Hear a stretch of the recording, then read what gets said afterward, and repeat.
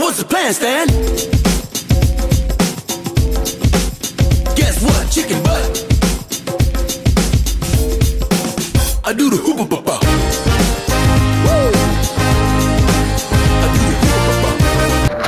Nå har vi landa i Gdansk og er her på en liten overraskelsestur for Kristin, en av mine bestevenner fra barndommen.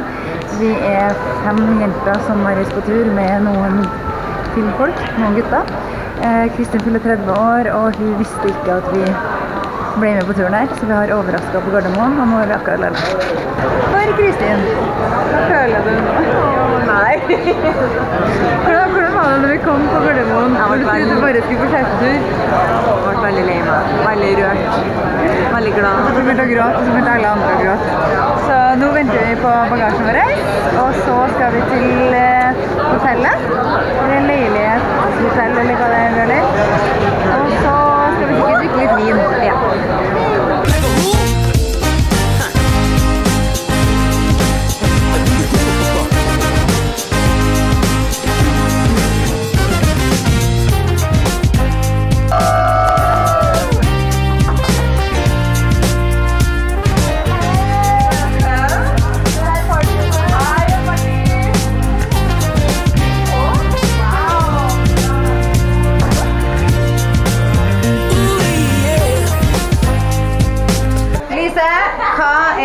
er planen nå?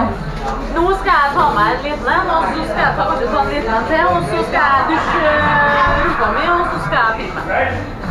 Hilde, hvordan er formen? Tidlig form. og så har vi en ny jente her. Hva heter du? Bendy. Det er Bendy. Venninna til Kristin fra Bodø. Ja! Fra Bodø. Fra Og hun, hun her visste vi ikke at hun kom, og hun bare kom plutselig nå, så det er veldig veldig mange venner av Kristin som er her, og vi skal ha det awesome! Ok, det vi gjør nå, vi holder på å surre rundt, og så skal vi finne ut hvor har rock café er. Nå har vi spurt og fått vite at det skal være opp her, og så får vi se om vi finner eh, de andre som vi også skal henge med i kveld.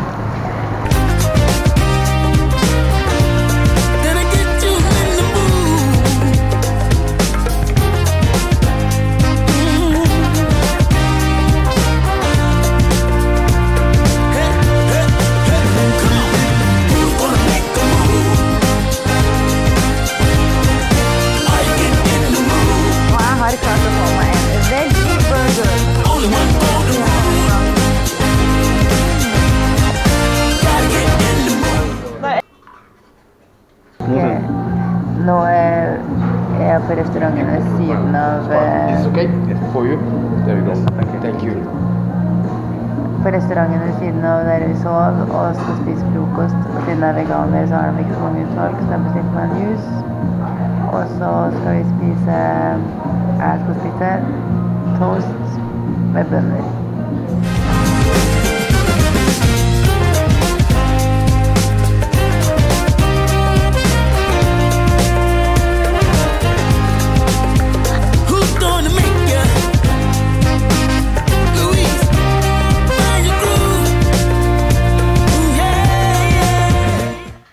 Hva er det du ikke har delt med oss i dag, Kristin? At Elise er så fin. Det er din dag, Anne. Ah, pizza! Fått på oss finstasen, venter på taxi, og så skal vi ut og spise middag og feire at Kristin er 30 år, og at hun har forlovet Kan er formen, Lise? Stigende og veldig bra. Når kom du hjem i natt? Seks, tror jeg. I morges, med andre ord. Hvem flere er det som var med på da? Når kom du hjem i natt, Lena? Kom hjem i morges, da, baby.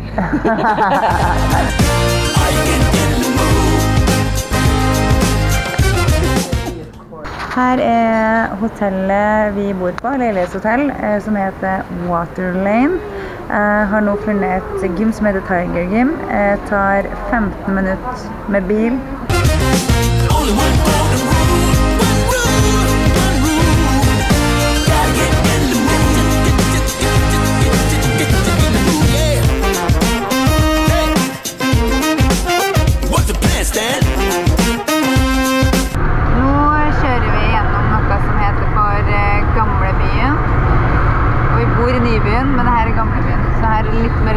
Bygninger.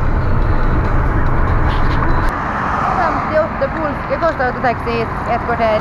Og det er ganger tre ca. 150 kroner. Skal vi inn her, da?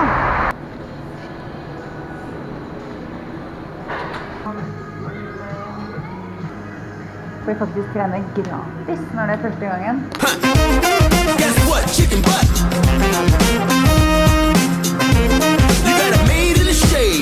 Trening så drikker jeg Vicargo, og det er vegansk.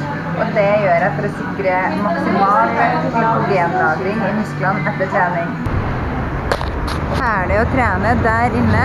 Anbefales. Nå skal jeg finne en plass å spise. Det bor 39 millioner mennesker i Polen, og det var her i Gdansk at andre verdenskrig starta. Visste du det? Ok, her er vegansk eh, rett. Spennende.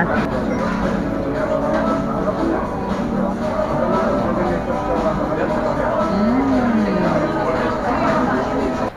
Siste kveld i Gdansk. Har ordna oss og skal ut og et. Hva skjedde i dag? Hilde, vis oss hva du har shoppa, da. Å, Superstar! Yay! Gold. Og ringa. edition. Og ringene. Wow. Og ringen. Å ja. Den slår alle ringer.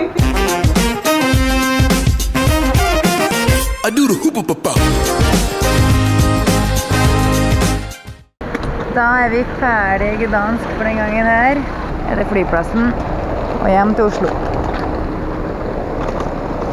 Jeg syns det er gøy å se hvordan eh, vegan- og vegetarmarkedet bare øker. Se her, eksempel. Her er det markert alt som er vegetar og sånn.